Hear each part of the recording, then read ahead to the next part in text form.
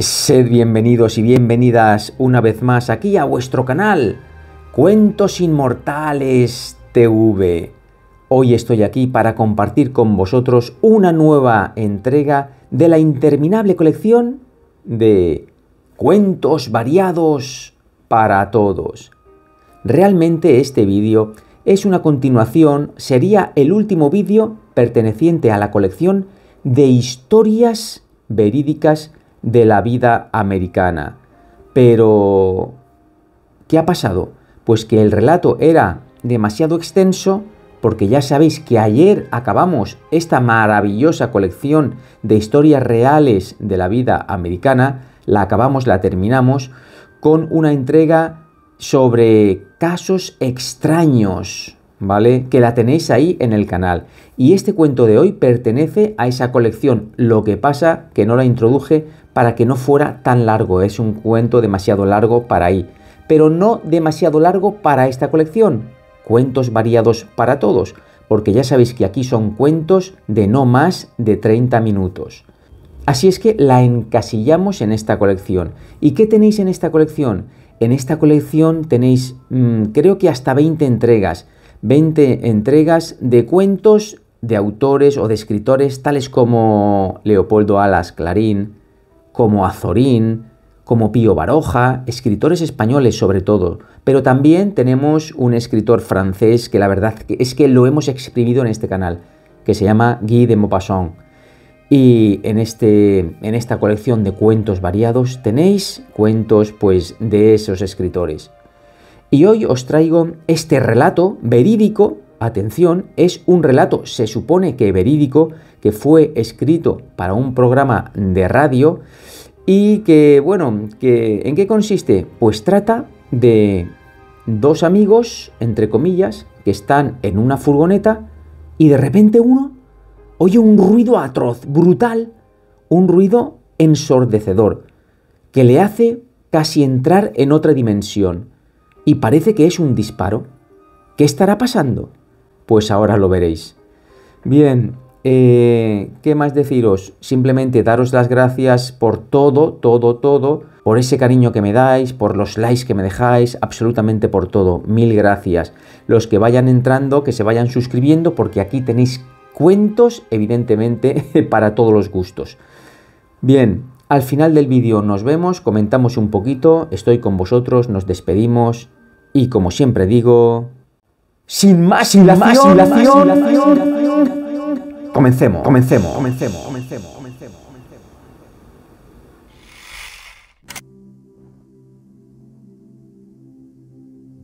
Un disparo en la luz. Verano de 1978. Yo recorría el sudoeste de los Estados Unidos trabajando como vendedor de joyas y objetos de regalo. Vendía una amplia variedad de cosas, desde cristales austríacos hasta pendientes hechos con plumas. Cuando iba de Las Vegas a Los Ángeles, paré para ayudar a un conductor cuyo coche se había averiado en el desierto de Mojave. El pobre estaba de mala racha, no tenía planes ni ningún sitio a donde ir así que le dejé que viajase conmigo. Se llamaba Ray y aparentaba veinte y pocos años. Era bajito, fibroso, ágil, aunque algo delgado y demacrado, como si estuviese desnutrido. Me daba pena, y en los tres días que estuvimos juntos comencé a confiar en él. Incluso empecé a encargarle que hiciese algunos recados mientras yo visitaba las tiendas para vender mis productos. Un día le regalé ropa mía y se le veía feliz por tener algo nuevo que ponerse. Parecía tranquilo y contento. La tercera noche acampamos cerca de la reserva de Puddingstone, al este de Claremont. Yo estaba sentado en la parte trasera de mi enorme furgoneta, acomodando cosas dentro de los armarios para dejar sitio libre para la ropa, los libros, la comida, los muestrarios y para el saco de viaje y demás bártulos de mi pasajero. De pronto sonó una fuerte explosión y sentí un estallido seco y punzante en la parte de arriba de mi cabeza. ¿Había explotado el hornillo de gas? Pero miré hacia arriba y vi que estaba intacto. Después miré a Ray, que estaba sentado en el asiento del conductor, y vi la pistola negra en su mano. Tenía el brazo apoyado en el respaldo del asiento y me estaba apuntando a la cara. Me había alcanzado una bala. Al principio pensé que me estaba amenazando, que iba a robarme. Bueno, me dije, las cosas son así.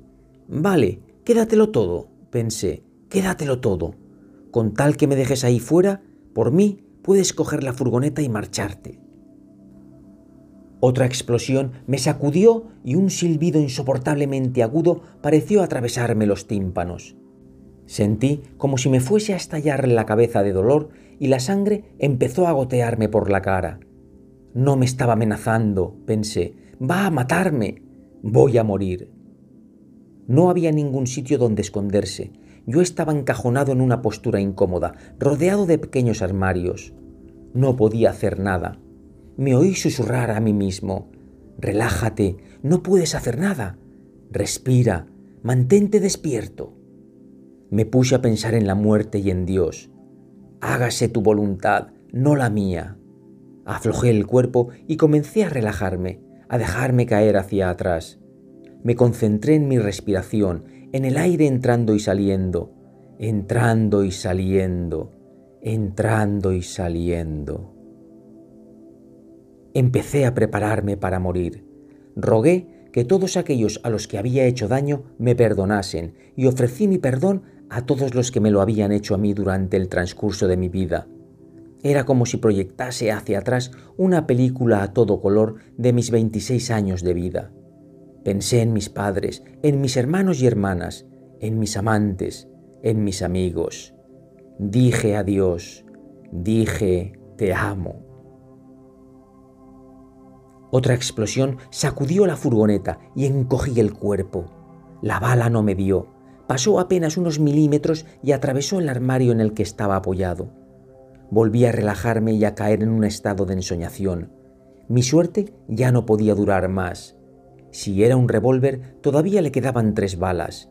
Esperaba que no fuese una pistola semiautomática. Lo único que me importaba era estar en paz. Mi furgoneta mi dinero, mi negocio, mis conocimientos, mi historia personal, mi libertad, todo se convirtió en algo sin valor, sin significado, polvo en el viento. Lo único que tenía de valor era mi cuerpo y mi vida, y eso iba a desaparecer dentro de poco tiempo. Mi atención estaba clavada en la chispa de luz a la que llamé mi yo, y mi conciencia empezó a expandirse hacia el exterior, extendiéndose en el espacio y en el tiempo. Oí mis instrucciones con toda claridad. Mantente despierto y sigue respirando. Le recé a mi Dios, al Espíritu Supremo, y le pedí que me recibiese con los brazos abiertos. La luz y el amor me inundaban y se proyectaban fuera de mi cuerpo como el haz luminoso de un faro, alumbrándolo todo a mi alrededor. La luz crecía en mi interior y empecé a inflamarme como un enorme globo hasta que la furgoneta y todo su contenido parecieron diminutos. Me inundó una sensación de paz y de resignación. Sabía que estaba a punto de abandonar mi cuerpo comprendí la trayectoria temporal de mi vida, tanto la pasada como la futura. Vi cómo la siguiente bala, a corta distancia del futuro, salía de la pistola, se dirigía hacia mi sien izquierda y salía, junto con trozos de cerebro y sangre, por el lado derecho de mi cabeza. Estaba totalmente sobrecogido. Ver la vida desde aquella perspectiva ampliada era igual que mirar una casa de muñecas desde arriba y ver todas las habitaciones a la vez, todos los detalles, tan reales e irreales al mismo tiempo. Observé aquella luz dorada, tibia y acogedora, con calma y aceptación. La cuarta explosión hizo añicos el silencio y sentí cómo mi cabeza era empujada violentamente hacia un lado. Un pitido ensordecedor me traspasaba las orejas. La sangre tibia me corría cara abajo, me caía por los brazos y muslos y goteaba sobre el suelo. Pero, extrañamente, me encontré otra vez en mi cuerpo y no fuera de él, todavía rodeado de luz, amor y paz. Comencé a mirarme el cráneo por dentro, en un intento de descubrir dónde estaban los agujeros. ¿Podría ver cómo entraba la luz a través de ellos? Pasé revista rápidamente al estado de mis sentimientos, capacidades, pensamientos y sensaciones para comprobar si faltaba algo. Seguro que la bala me había afectado. La cabeza me estallaba de dolor, pero me sentía extrañamente normal. Decidí mirar a mi asesino, mirar a la muerte cara a cara. Levanté la cabeza y volví los ojos hacia él. Se quedó horrorizado pegó un salto en el asiento y gritó ¿Por qué no estás muerto, hombre? Tendrías que estar muerto. Pero aquí estoy, le dije con tono tranquilo. Esto es alucinante. Es igual que el sueño que he tenido esta mañana. Yo no paraba de disparar, pero el tipo no se moría. Pero no eras tú el del sueño, era otro. Todo aquello resultaba muy extraño.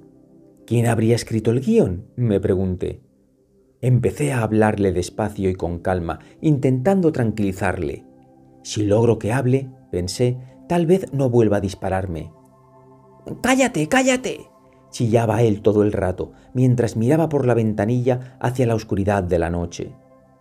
Se acercó a mí, nervioso, con la pistola en la mano, y examinó mi ensangrentada cabeza, intentando descubrir por qué las cuatro balas que me había metido en el cuerpo no habían acabado conmigo. Yo todavía sentía cómo la sangre resbalaba por mi cara y la oía gotear sobre uno de mis hombros. No entiendo por qué no estás muerto, tío. Te he disparado cuatro veces, dijo Ray. ¿Será que todavía no es mi hora? contesté tranquilamente. Ya, pero te he disparado, dijo entre confuso y desilusionado. No sé qué hacer. ¿Qué es lo que quieres hacer? Le pregunté. Lo que quería era matarte, tío, coger esta furgoneta y marcharme lejos de aquí. Pero ahora no sé. Parecía preocupado, indeciso. Empezaba a moverse más despacio y ya no saltaba de un lado a otro. ¿Y por qué querías matarme? Porque tú lo tenías todo y yo no tenía nada, y ya estaba cansado de no tener nada. Esta era mi oportunidad de quedarme con todo. Todavía seguía moviéndose de un lado a otro dentro de la furgoneta, mirando por las ventanillas hacia la oscura noche que nos rodeaba. ¿Y ahora qué quieres hacer? le pregunté. No lo sé, hombre, dijo con tono quejumbroso. Tal vez debería llevarte al hospital. Mi corazón dio un vuelco al considerar la posibilidad. Una salida. Me parece bien, fue lo único que dije, puesto que no quería que pensara que estaba perdiendo el control de la situación. Quería que aquella idea fuese suya y no mía. Yo sabía que su furia surgía de la sensación de que no podía controlar las cosas y no quería enfurecerle. ¿Por qué eres tan amable conmigo, hombre? Porque eres una persona, Ray. Pero yo quería matarte. No paraba de sacar mi pistola y de apuntarte cuando estabas durmiendo o no me veías pero eras tan simpático conmigo que no podía hacerlo. Mi sentido del tiempo estaba alterado. Me di cuenta de que no tenía ni idea de cuánto tiempo había pasado desde que recibí el primer balazo. Después de lo que me parecieron varios minutos, Ray se acercó hasta mí, que seguía acurrucado en una postura que me impedía moverme, y me dijo, Está bien, tío, te voy a llevar a un hospital, pero no quiero que te muevas, así que voy a ponerte algo para que no te muevas, ¿vale? Ahora me pedía permiso. Vale, dije en voz baja. Cogió algunas cajas de muestrarios y las puso alrededor de mí. ¿Estás bien? preguntó. Sí, estoy bien. Un poco incómodo, pero estoy bien. Vale, tío. Te voy a llevar a un hospital que conozco. Ahora no te muevas. Y no te mueras, ¿vale? Vale, le prometí. Sabía que no me iba a morir. Aquella luz, aquel poder dentro de mí era tan fuerte, tan claro. Cada vez que respiraba sentía como si fuese la primera vez, no la última. Iba a sobrevivir, lo sabía. Ray cerró el respiradero del techo de la furgoneta, ajustó las agarraderas y puso en marcha el motor. Sentí cómo la furgoneta recorría el camino de tierra hasta llegar al asfalto y se encaminaba hacia mi libertad. Condujo y condujo. Yo no tenía ni idea hacia dónde me llevaba. ¿Iríamos a un hospital, como dijo, o hacia algún horrible desenlace? Si había sido capaz de dispararme con una pistola, también era capaz de mentir o de cosas peores. ¿Cómo sabía hacia dónde ir?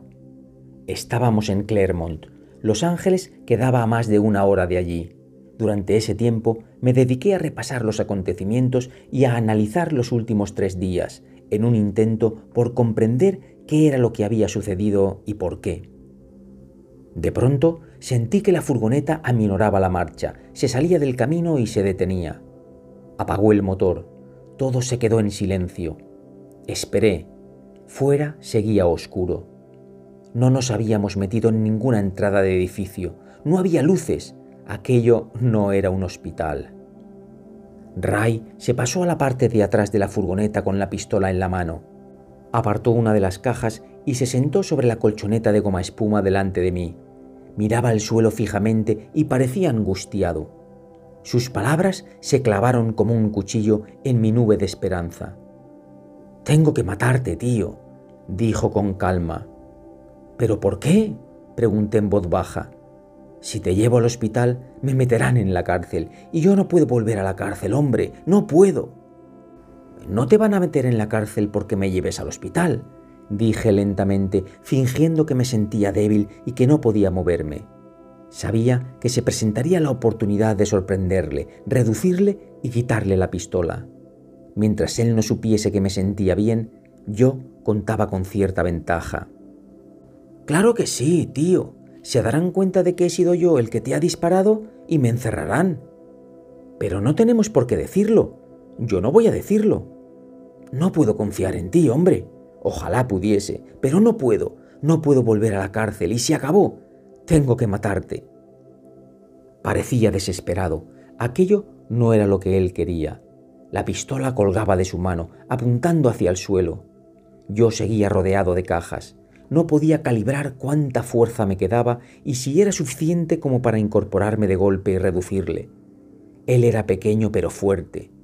¿Estaría todavía lleno de adrenalina? Si era así, aquello le haría más fuerte. Mi poder estaba en las palabras, en el manejo de la espada verbal. Si podía lograr que continuase hablando, no emprendería ninguna acción violenta. Tal vez pueda entrar solo en el hospital, Ray. Tú no tienes por qué estar allí. Podrías marcharte. No, tío, dijo moviendo la cabeza de un lado a otro. En cuanto se lo digas, vendrán a por mí, me encontrarán. Me quedé callado. No ha funcionado, pensé. ¿Por qué no estás muerto, hombre? volvió a decir. Te he disparado cuatro veces en la cabeza. ¿Cómo puede ser que estés vivo y sigas hablando? Tendrías que estar muerto. Sé que no he fallado. Volvió a mirarme la cabeza, cogiéndola con las manos y moviéndola a izquierda y derecha. ¿Te duele? preguntó. Parecía preocupado de verdad. Sí, me duele, le mentí, pero creo que me pondré bien. Bueno, es que no sé qué hacer. No puedo llevarte al hospital. Tampoco puedo dejarte ir, así como así, porque irás a la policía. ¿Por qué te has portado tan increíblemente bien conmigo, tío? Nadie me ha tratado así de bien en mi vida. Eso ha hecho que fuese más difícil matarte. No parabas de comprarme cosas y de regalarme cosas. Yo ya no podía ni decidir cuándo debía hacerlo. No dijo sí, sino cuándo. ¿Y qué harías con todas estas cosas si fuesen tuyas, Ray? Le pregunté. Podría volver a casa y ser alguien. Podría trabajar. Tendría suficiente dinero para abrirme camino, tío. Ray empezó a hablar. Habló sobre su casa al este de Los Ángeles, de la pobreza que le rodeaba, de su ira, de los maestros que le hacían sentirse estúpido en la escuela, de su padre que bebía demasiado y le pegaba, y de cómo la calle le convirtió en un tipo duro. Habló de sus planes de entrar en el ejército porque se suponía que podía ser una solución, pero no pudo soportar que le dijeran continuamente lo que tenía que hacer, así que se ausentó sin permiso. Habló del tráfico de drogas y de cómo el negocio de la droga empezó a ir mal y acabó timando a sus colegas camellos. Por eso tuvo que marcharse de Los Ángeles, porque le estaban buscando. Habló de cómo le robó a su padre la pistola y el dinero antes de marcharse. Entonces se dio cuenta de que no tenía dónde esconderse y decidió regresar. Tal vez pudiera organizar otro robo y hacerse con bastante dinero. Solo necesitaba dar un golpe, encontrar a algún idiota. Si encontraba a alguien lo bastante rico, podría devolver el dinero a los camellos y empezar otra vez. Así que decidió matar al primero que parase, el primero que estuviera dispuesto a ayudarle. Yo. Comenzaba a amanecer, el cielo pasaba lentamente del azul añil al azul celeste. El canto de los pájaros hizo que me sintiese agradecido de estar vivo. Estoy entumecido y me duele todo, Ray. Me vendría bien levantarme y estirar las piernas. Llevaba seis horas en la misma postura. Tenía la cara y el pelo cubiertos de sangre seca. Me dolían las espinillas de tenerlas aplastadas contra el canto de la puerta de un armario y también la espalda, que ya estaba totalmente tiesa. Está bien, hombre, voy a dejar que te levantes, pero no hagas ninguna tontería, ¿vale? Vale, Ray, tú dime lo que tengo que hacer y yo lo hago. Recuérdale que es él quien manda. No permitas que sienta que no controla la situación. Busca una oportunidad, me decía. Quitó las cajas que me rodeaban, retrocedió con la pistola en la mano y abrió la puerta. Me arrastré lentamente y bajé de la furgoneta poniéndome en pie por primera vez. Qué hermoso me pareció el mundo visto con mis nuevos ojos. Todo brillaba como si fuese de cristal reluciente. Nos habíamos detenido en una calle de una zona residencial, cerca de un pequeño estanque, al final de un terraplén. Me hizo un gesto señalándome el sendero de tierra que conducía hasta el agua. Mientras bajaba la pendiente pensé, ¿Otra vez la muerte me dará unos golpecitos en el hombro? ¿Me disparará por la espalda para luego tirarme al agua? Me sentía débil y vulnerable, pero al mismo tiempo inmortal e inmune a sus balas.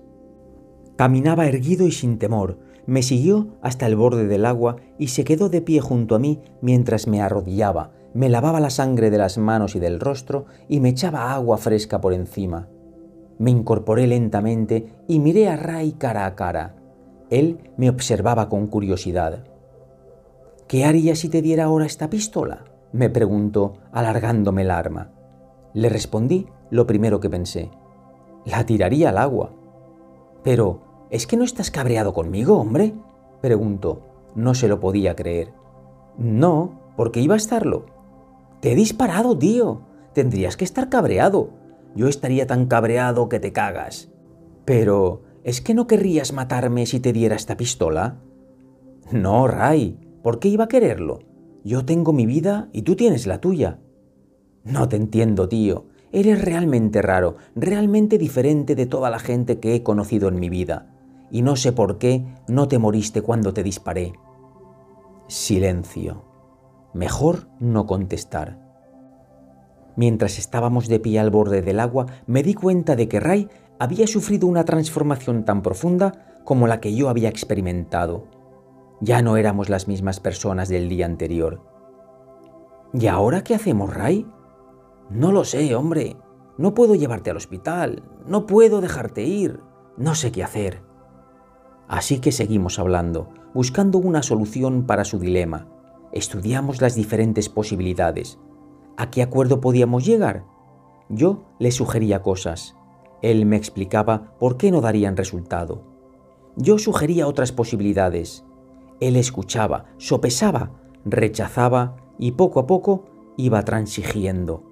Buscábamos un pacto. Al final logramos acordar un compromiso. Yo le dejaría marchar y él me dejaría marchar. Prometí no denunciarle ni informar a la policía, pero solo con una condición.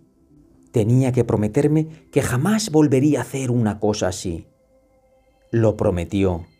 ¿Qué otra elección le quedaba? Cuando el sol empezaba a asomar por detrás de las colinas, nos subimos a la furgoneta. Yo iba sentado en el asiento del acompañante mientras él conducía hacia un lugar que decía conocer. Aparcó y le di todo el dinero en efectivo que tenía, unos 200 dólares, y un par de relojes que pensé que podría empeñar. Cruzamos juntos la calle. Brillaba el sol. Era temprano, pero ya comenzaba a hacer calor. Él llevaba su chaqueta del ejército y el saco de dormir debajo del brazo y su bolsa de viaje colgada al hombro. En algún rincón de esa bolsa había una pistola negra. Nos dimos la mano, le sonreí y él parecía seguir confuso. Después le dije adiós y me alejé. En la sala de urgencias del Hospital del Condado de Los Ángeles, un médico me quitó las esquirlas de metal y los trocitos de piel y pelo y me cosió el cuero cabelludo. Me preguntó qué había sucedido y contesté, me dispararon cuatro tiros. Es usted un hombre de suerte, dijo. Solo le alcanzaron dos balas y las dos le rebotaron en el cráneo y volvieron a salir. Ya sabe que tiene que informar de esto a la policía. Sí, lo sé, contesté. Ya sabía que había tenido suerte, pero, más que nada, me sentía bienaventurado. No fui a la policía. Había hecho una promesa y había recibido otra a cambio. Yo cumplí la mía. Me gusta creer que Ray cumplió también la suya.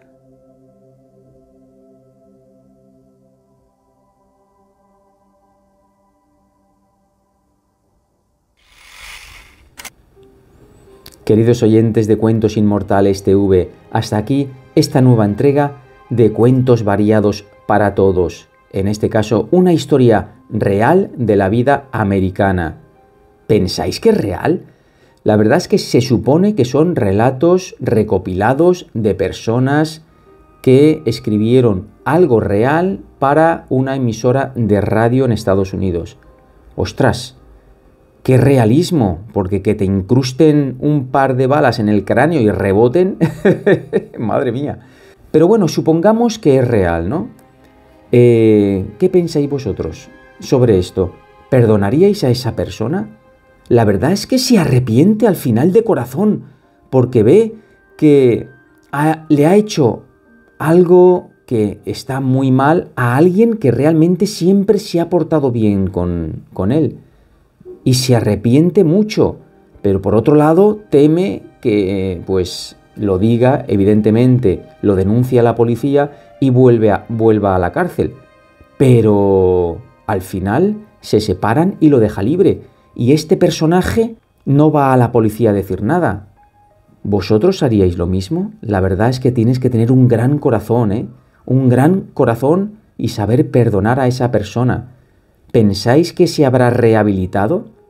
La persona que le disparó a nuestro personaje de hoy? Bueno, es algo que queda ahí para los anales de la historia. Jamás lo sabremos. Ojalá se rehabilitara de corazón e hiciera el bien a todo ser sintiente que habita en este planeta. Esa es la moraleja del cuento, hacer el bien a todo el mundo.